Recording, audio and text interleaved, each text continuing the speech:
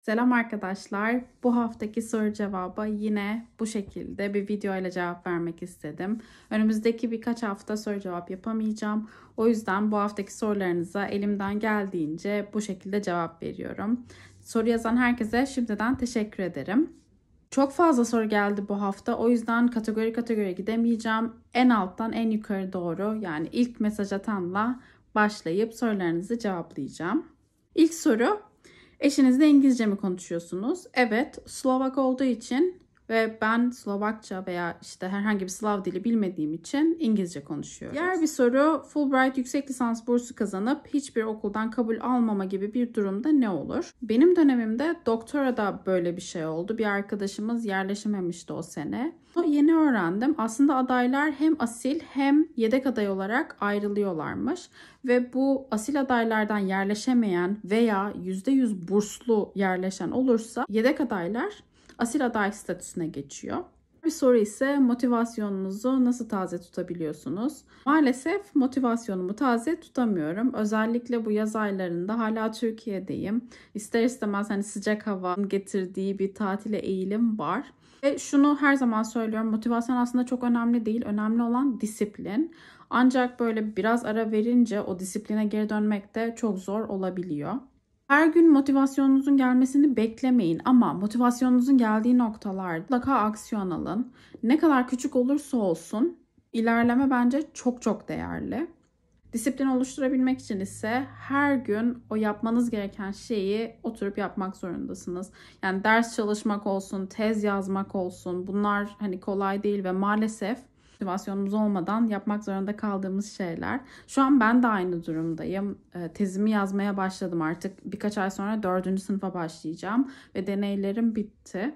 İster istemez hani şu an masanın başına geçmek çok zor geliyor. Nereden başlayacağım, ne yapacağım diye her gün kendimle çok savaşıyorum. Kendimce şunu yapmaya çalışıyorum. Bir gün önceden ertesi gün için küçük bir veya iki işte ertesi günkü planıma göre hedefler koyuyorum ve onları bitirmeye çalışıyorum. Eylül'den sonra daha sıkı bir düzene geçeceğim. O zaman zaten sizinle paylaşırım. Diğer bir soru mühendislikte iyi bir CV için olmazsa olmaz dediğiniz bir şey var mı? Bunu piyasada çalışan bir mühendis olarak sorduğunu düşünüyorum. En garanti yöntem şu an işte okuduğunuz bölümü ve çalışmak istediğiniz işlerin iş ilanlarına bakmak. Orada zaten size 3 aşağı 5 yukarı bir fikir verir.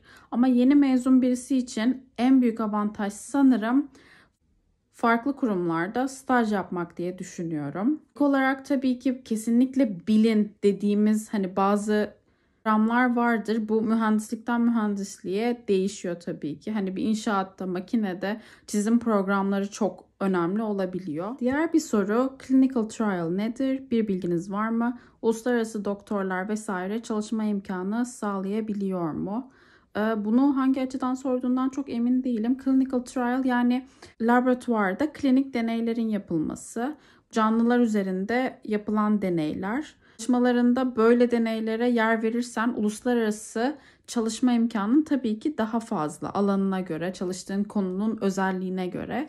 Şunu ekleyeyim. Eğer Fulbright bursu almak istiyorsan klinik deneylerin olduğu alanlar desteklenmiyor. Bunu dipnot olarak düşmek istiyorum. Bir sonraki soru uluslararası sempozyumda bildiri sunmak yüksek lisans burs kazanmada etkili olur mu? Tabii ki.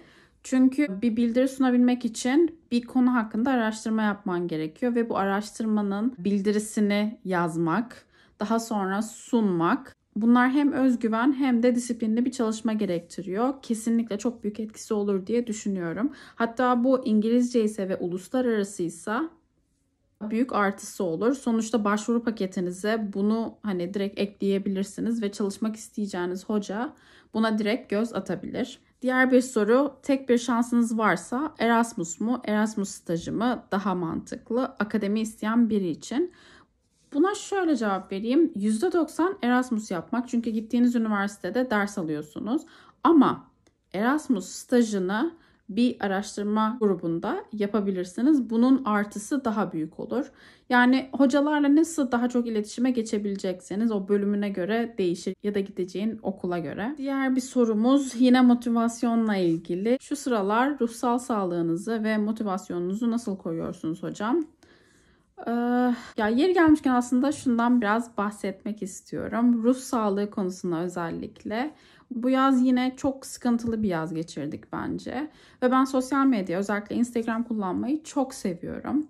Ancak bir noktada hani tamam bazı olaylar oluyor ve buna tepkimizi kendimizce gösteriyoruz ama işler öyle boyuta geliyor ki artık birkaç gün böyle akşam yatarken kalbimin çok hızlı attığını fark ettim ve buna bence gerek yok. Yani evet kötü şeyler oluyor, olmaya da devam edecek ve buna karşı birlik beraberlik de tabii ki olunacak. Tabii ki bir destek gösterilecek ama e, sosyal medyanın bu kadar hayatımızı kontrol etmemesi gerektiğine karar verdim. Ve ruh sağlığımı korumak için açıkçası haberleri takip etmiyorum. Haber sayfalarını elimden geldiğince takip etmiyorum. Günün sonunda bir bireyiz. Evet çoğu haber, çoğu karar hepimizi etkiliyor ama günün sonunda bir bireyiz ve herkes kendi gemimizi ilerletip ilerletmediğimize bakıyor. Motivasyon konusunda da bu geçerli. Benim hayatımda olan hiçbir şey işte işverenimi etkilemeyecek. Hani bir şey olduğunda tamam belki biraz özveri gösterebilirler ama sonuç olarak günün sonunda yaptığın işi verebiliyor musun, veremiyor musun? O yüzden günlük olaylara çok fazla takılmamaya çalışıyorum. Yani hayat her şekilde devam etmek zorunda. Bazen şartlar gerçekten çok kötü oluyor ve ilerlemek çok zor oluyor. Ama hepsi geçiyor. Yani bunu tecrübeyle sabit bunu söyleyebilirim. Şu an mesela çok zor bir süreçten geçiyor olabilirsin. Birisini kaybetmiş olabilirsin. Maddi sıkıntıların olabilir, ailevi sorunların olabilir. Bunlar herkesin hayatında belli dönemlerde zaten oluyor aslında hani bu tarz dönemler çok kritik. Çünkü bu tarz dönemlerde aldığın aksiyonlar aslında hayatta nereye gideceğini belirliyor bence. O yüzden elimizden geldiğince çalışıp kendi hayatımıza devam etmek zorundayız. Diğer bir soru, sizce yüksek lisansta burs imkanları Avrupa'da mı, Amerika'da mı daha fazla? Bence Amerika'da daha fazla. GRE Amerika için geçerli ise Avrupa'da ne tür bir sınav var hocam ya da Avrupa'da bu sınavımı istiyor.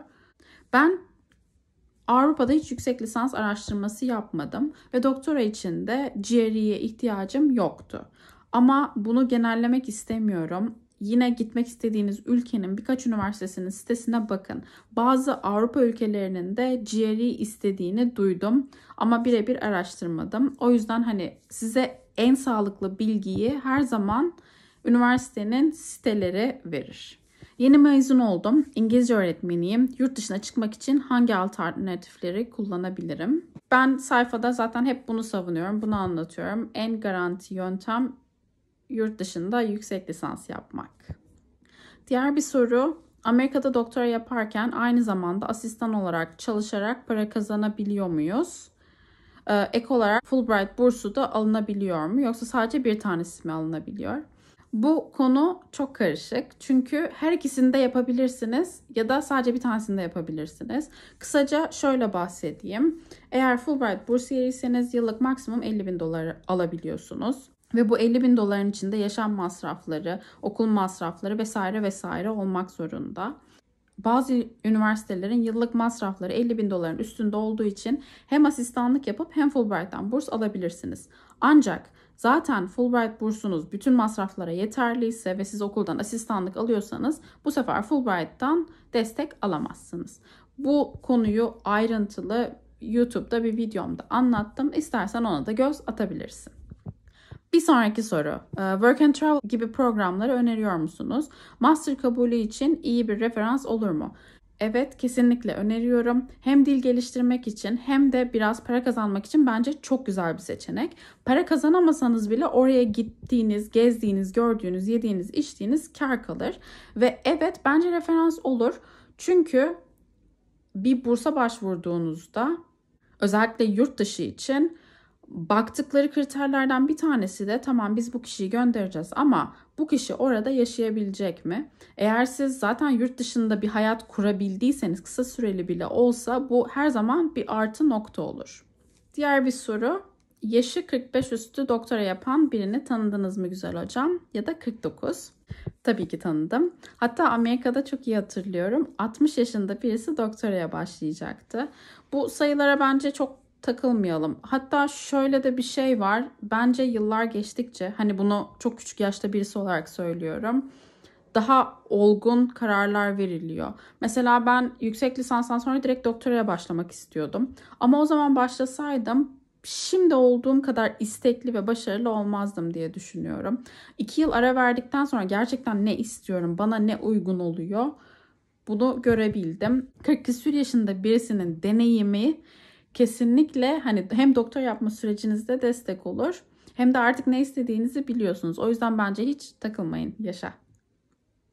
Diğer bir sorumuz bitirdiğimiz lisanstan daha farklı bir alanda yüksek lisans yapabilir miyiz? Evet, Amerika'da bu çok yaygın bir şey. Sadece lisans seviyesinde bazı dersleri almanız gerekebilir.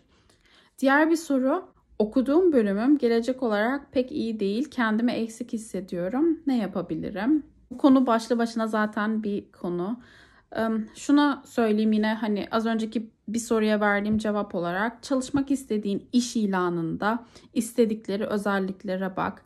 Eğer bölümünün kesinlikle bir şeyler yapamayacağını düşünüyorsan işte bir yan dal ya da çift ana dal gibi bir şeyle değiştirme şansın olabilir mi ya da daha ilerletme şansın buna bakabilirsin ya da alanında çok fazla kişinin yapmadığı ancak sektörde şu an rövanş olabilecek bir konu üzerine yoğunlaşabilirsin. Türkçe öğretmeni olarak Yurt dışı yüksek lisans doktora bulmak çok mu imkansız? Hayır. Hatta çok kısa süre önce bir takipçim bir doktora ilanı gönderdi. Türk dilleriyle ilgili. Türkçe öğretmeni olmak buna artı eksi sağlar mı? Tabii ki ayrıntılarını bilmiyorum. Sürekli sayfamda paylaştığım sayfaları sürekli kontrol ederek fikir edinebilirsiniz. Diğer bir soru İngilizce arkadaşı nasıl bulabilirim? Seviyem iyi denebilir. Benzer birini bulmalıyım. Uygulama önerir misiniz? Şu an böyle bir uygulama bilmiyorum. Araştırıp sizinle paylaşacağım. Yine İngilizce ile ilgili bir soru. İngilizceyi şarkı diziyle öğrenmeye çalışıp gerçekten nereden başlayacağımı bilemiyorum. Çok iyi anlıyorum. Ya şöyle yapayım ben bununla ilgili de bir YouTube sayfası veya bir kanal web sitesi vesaire bulmaya çalışayım. Yani gerçekten hiç destek almadan yeni bir dil öğrenmek çok zor. Ya bir kitap edinmen gerekiyor ya da bir, bir şeyleri takip etmek gerekiyor bence. Özellikle de belli bir seviyeye gelinceye kadar. Çünkü tek başına çalışmak hem çok verimli olabilir hem de hiç verimli olmayabilir. Merhaba, üniversitede ELL okuyacağım. Kendimi hangi yönde, hangi konuda geliştirmem daha iyi olur?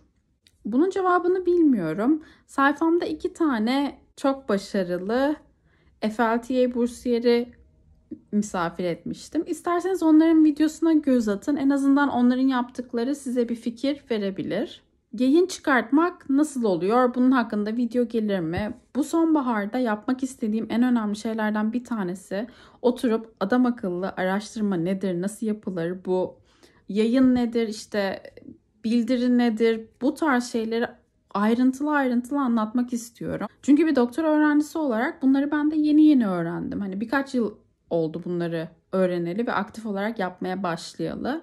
Ve şu an hani bu sayfada sürekli size şey söylemeye çalışıyorum. Eğer imkanınız varsa araştırma projelerinde çalışın ama çoğu kişinin sorusu şu oluyor. Araştırma ne? Nereden başlayacağız? Ne yapabileceğiz gibi.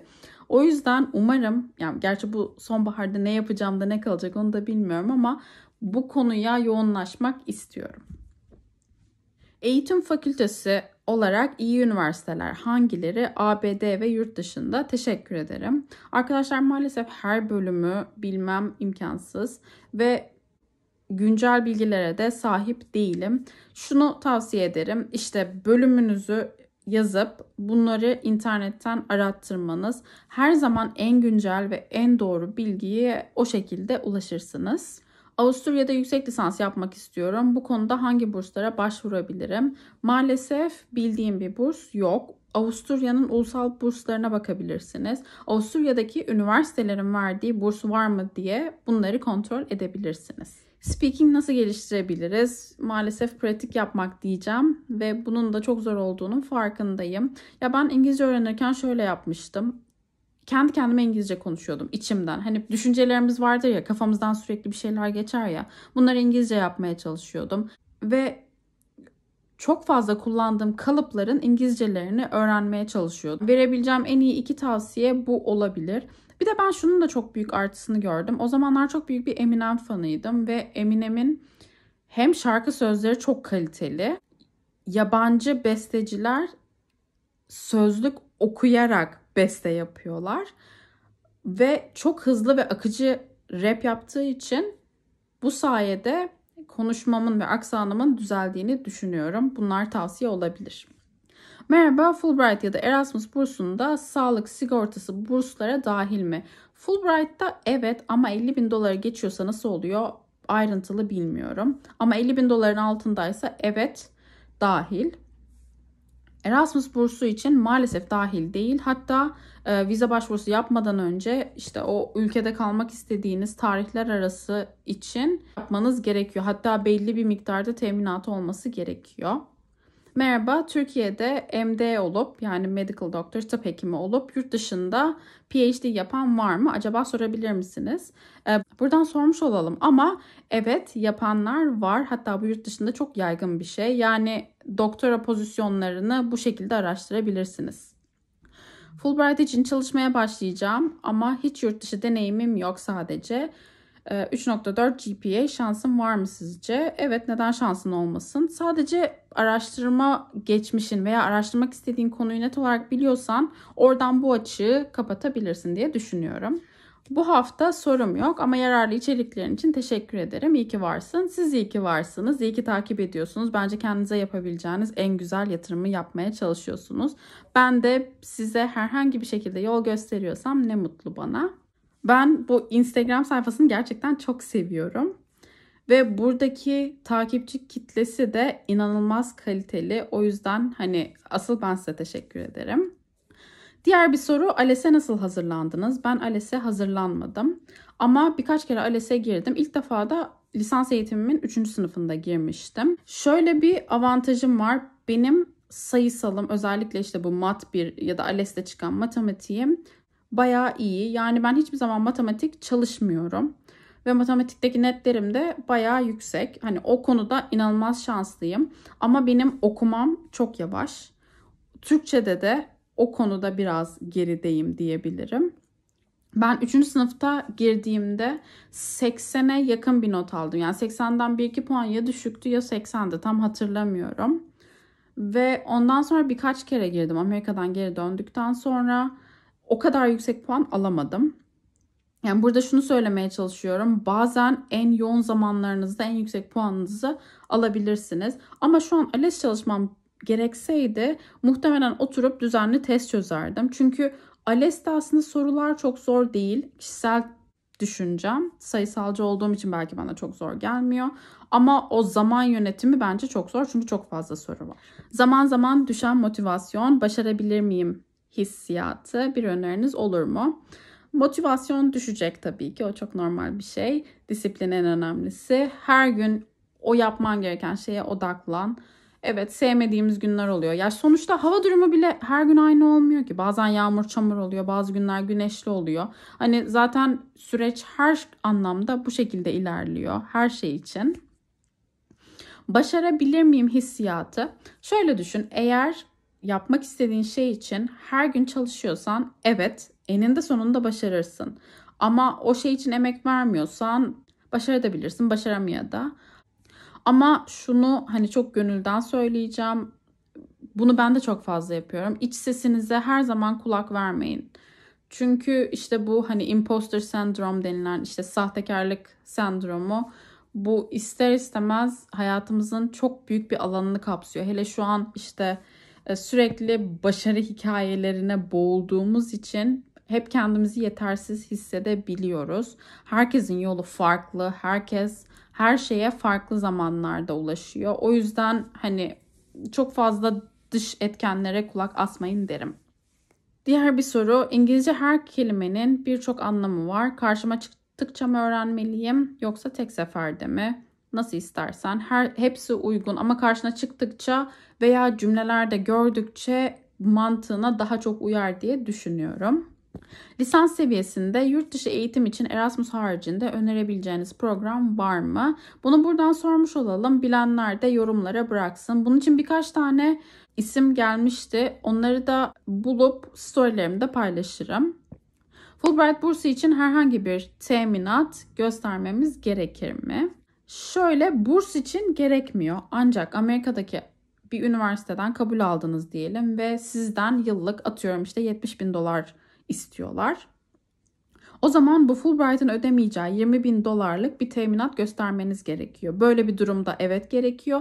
İkinci bir durum ise eğer siz giderken yanınızda ailenizi yani eşiniz veya çocuğunuzu götürüyorsanız o kişinin temel ihtiyaçlarını karşılayacak maddi güce sahip olduğunuzu göstermeniz gerekiyor. Öğretmenlik bölümlerinin burs kazanma oranı nedir? Oran olarak bilmiyorum ama evet değer görüyor. Ben yine yüksek lisansla bunu taşlandırıp daha rahat iş bulabileceğinizi düşünüyorum. İngiliz dili ve edebiyatı mezunu yurt dışında İngilizce öğretmenliği yapabilir mi? Evet hatta Facebook'ta bazı ülkelerde işte nasıl denklik alabilirsiniz, nasıl öğretmenlik yapabilirsiniz gibi sayfalar var. Ayrıntılı araştırabilirsiniz. Diğer bir soru GRE, TOEFL, IELTS gibi sınavlara lisansın tam olarak hangi zamanında girmemizi önerirsiniz?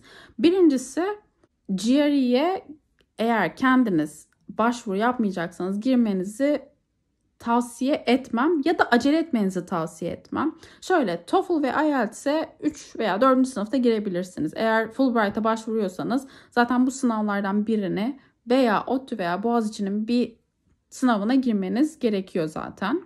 GRE için ise 4. sınıf olabilir. Tabii ki daha erken girebilirsiniz ancak bu sınavlar pahalı sınavlar. O yüzden gerekmedikçe girmemenizi tavsiye ederim. Ama uzun vadede bir Amerika planınız varsa GRE'ye hemen bugün oturup başlayın. En azından kelime ezberleyin. Diğer bir soru, ikinci sınıf öğrencisi için yazın Erasmus ile lab stajına kabul almak çok mu zor ve erken olur? İkinci sınıf öğrencisi maalesef teknik olarak neredeyse hiçbir şey bilmiyor. O yüzden bence çok zor olur. Yani kişisel düşüncem her bölümde böyle mi bilemiyorum. Diğer bir soru Fulbright bursuna kabul almış olsak bile TOEFL, IELTS, GRE gibi sınavların parasını cebimizden mi veriyoruz? Ee, zaten bursa başvururken bir dil sınavı puanınız olması gerekiyor. Eğer bu dil sınavı puanınız istenilenin altındaysa Fulbright sizi tekrar sınava sokuyor. Yani onlar ödüyorlar. GRE için de bu geçerli. En sevdiğin şarkı ve fobin var mı? En sevdiğim şarkı bilemiyorum. Çok fazla sevdiğim şarkı var ve anlamı olan her şarkıyı aslında severim, dinlerim. Fobim tabii ki var. Bunu belki sonra anlatırım. Diğer bir soru. Ben veteriner fakültesinde okuyorum. Yurt dışında yüksek lisans doktora bursları ile ilgili bilgin var mı? Her bölüm için bilgim yok. Genel olarak bildiğim bursları ya da burs bulabileceğiniz web sitelerini sürekli paylaşmaya çalışıyorum. Buna tekrar değinmek istiyorum. Ben eğitim danışmanı değilim. Bana eğer şu an güncel inşaat mühendisliği ile ilgili bu soru da gelmiş olsaydı ben yine aynı cevabı verecektim. En iyi üniversiteleri ya da her üniversiteyi bilmem imkansız. Bu benim tam zamanlı işim değil. O yüzden ben size şu şekilde araştırma yapabilirsiniz ya da şu şekilde bu bilgiye ulaşabilirsiniz diye yol gösterme taraftarıyım. Yurt dışında eğitim almak çok zor. Zaten kolay olsa hepimiz şu an yurt dışında olurduk.